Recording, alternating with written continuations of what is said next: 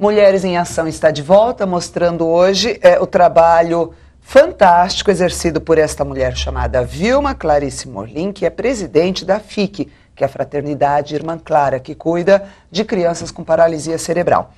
Ô Vilma, essas crianças moram na instituição?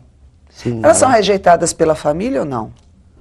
Não. Há casos, há casos, não é a grande maioria que realmente a família rejeitou.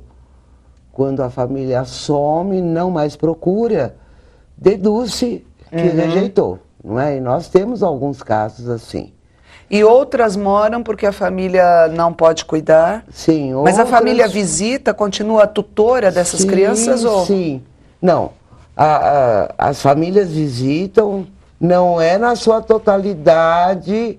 Nós podemos, assim, no meio de 37, dizer que umas 15 a 16 famílias religiosamente visitam seus filhos. É pouco, hein? Menos da metade. pouco, é pouco. Mas a gente dá, eh, dá desculpa para isso pelo fato. Umas moraram em São José dos Campos, Ah, outras sim, em. Uberaba, outras são do centro do Brasil, ah, outras de Poços de Caldas. Então vejam bem, como são famílias humildes e famílias que realmente financeiramente não têm condições de arcar nem com o- o- a passagem do Certo. ônibus, apesar de muitas vezes a FIC ter oferecido esse pagamento, eles têm dificuldade, né? Porque não é só pagar passagem. É vezes organizacional o também, não é? É o trabalho, É, é, isso. e é uma série de outros fatores. São outros filhos É. que precisam de cuidados. Então, é? na verdade, a maioria das nossas crianças tem o amor dos funcionários, dos colaboradores, dos voluntários, que graças a Deus realmente amam aquelas crianças.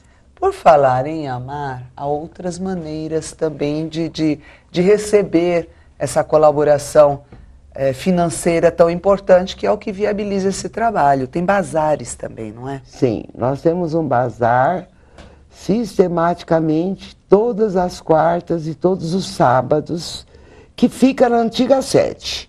Avenida Paquembu, 40, embaixo do viaduto Paquembu.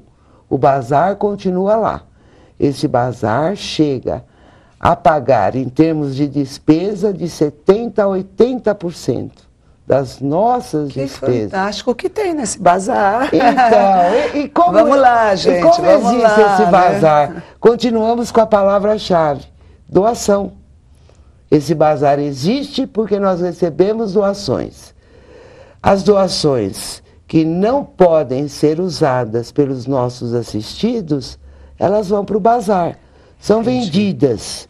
São aproveitadas por outras famílias mais humildes também, Certo. que não podem comprar numa loja sofisticada, compram lá uma coisa, às vezes semi-usada, por um preço bem inferior, saem felizes da vida e ajudam a casa. São roupas, não é? Roupas. Roupas só de crianças ou tem não, adultos? não, roupas de todo tipo, para gordo, para magro, para moreno, para Mulherada, mulherada, vamos lá, né? Porque Roupas é, de marcas, e roupas olha sem marca. aí, gente, saber que você está é, colaborando, né? Roupas, sapatos, bolsas, móveis, elétricos, eletrônicos, geladeira, fogões. Olha que- Tudo que você possa imaginar e o que você não consegue imaginar. Nós recebemos uma vez, há muito tempo atrás, agora eu sei que existe, um pega-barata. Uma ratoeira para pegar ah, barata. Meu Deus do céu. Eu nunca tinha visto, ninguém do bazar havia visto isso. Então são coisas assim, bem Uhum. eh, sui generis, né? Que a gente recebe no bazar. É, vamos já confirmar os, dia Os e horário de funcionamento? É, todas as quartas. Só fechamos se for Natal ou véspera de Natal, primeiro do ano ou véspera de primeiro do ano. Todas as quartas e todos os sábados, das nove ao meio-dia. Das nove ao meio-dia, à tarde não? Não, à tarde não. Tem jeito, vão ter que levantar cedo. Os preços são bons, né, viu? São muito bons, são. São é... preços para realmente a gente arrecadar fundos e fazer feliz todo aquele que entra. Para quem quer fazer doações, é, doações para o bazar também, de é, quarta e sábado não, nesse não. horário? Não, as doações é, no, no bazar, no endereço do bazar, é das 8 às 5 horas. Certo. Aos sábados, das 8 a 1. Domingo é fechado. Dá uma olhadinha aí na sua casa, né? Você deve ter alguma coisa é, que não tem serventia mais para você, que você quase não usa agora. Presta atenção, tem que estar tá em bom estado, né? Não adianta também levar uma roupa estragada, desbotada, um brinquedo quebrado, porque enfim, é, não são coisas inutilizadas, são coisas que você não se interessa mais e que podem interessar a outra pessoa e com isso você estará colaborando para a continuidade desse trabalho maravilhoso. É, existe também o apadrinhamento, não é, Vilma? Existe, existe uma campanha do Fique Padrinho que consiste é, a pessoa apadrinhar uma, um, qualquer um dos assistidos e realmente é, dar uma mensalidade, uma contribuição mensal.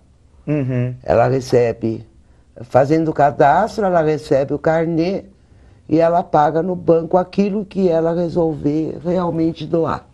Ô Vilma, nós estamos chegando, infelizmente, no finalzinho do programa, mas tem que saber uma coisa.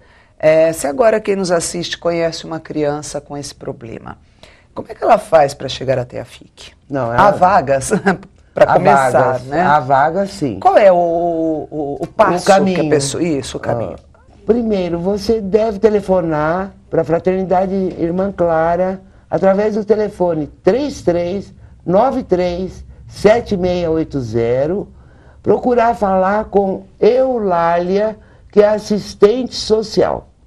A partir daí, ela vai marcar uma entrevista, uma triagem que será feita com a nossa médica e depois as providências que deverão ser tomadas serão orientadas aos pais.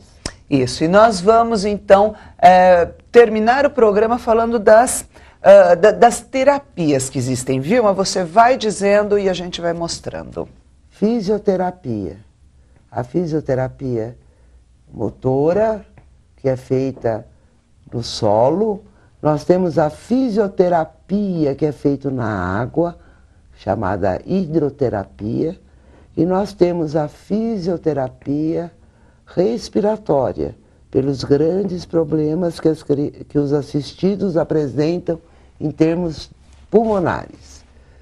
Depois vem a fonoaudiologia, pela necessidade de fazer com que eles consigam melhorar a alimentação. Depois tem o terapeuta ocupacional, desenvolvendo talentos, cuidando das pessoas, trabalho fantástico da dona Vilma Clarice Morlin, que é presidente da FIC, Fraternidade Irmã Clara, é, que preside esse trabalho maravilhoso feito por pessoas tão empenhadas. Mulheres em Ação de hoje fica por aqui. Muito obrigada e um forte abraço.